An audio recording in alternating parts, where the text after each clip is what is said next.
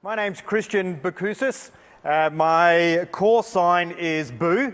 So if my full name is a bit of a mouthful, you can call me Boo for the rest of the day. Uh, I flew uh, F-18s and another aircraft called a Tornado in the UK for 10 years. I was a fighter pilot.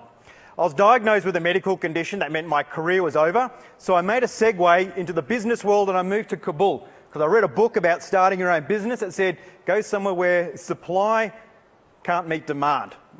So I moved there and set up a company called CTG Global, which grew from two founders to 1,600 people in three years. I sold that business after three years. I thought this startup thing's, I don't know what the fuss is. Uh, and then spent a few years in purgatory uh, trying to set up a business here in Australia. Uh, long story short, I have managed to do that and I'm the CEO and founder of a company called Mode Modular Developments. And we're currently building a prefabricated hotel in the Perth CBD using materials and components assembled in a factory and put up in, uh, on site. You would have seen there, we just put up five stories in five days. So I've worn the combat boots of a fighter pilot, but I've also been in business for about 12 years, and I know that this stuff works. And that's why we're here today to share with you this simple process and hopefully have you apply it into your work cycle.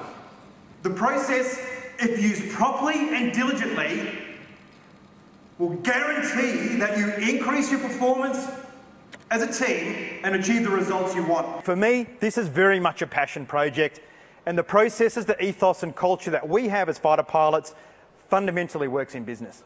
Now, we see our performance as a relentless game of inches, and we seek to improve just 1% per day. But to do that every single day. And the compound effect of that performance and improvement is quite astonishing. What was the result? What was the reason? And what is our response? From a structured flex debrief, our teams can increase performance by 38%. This will hopefully enable you to set your own clear, measurable, achievable objectives that are aligned to your organisation's purpose and reason for being and therefore allow you to be on time, on target.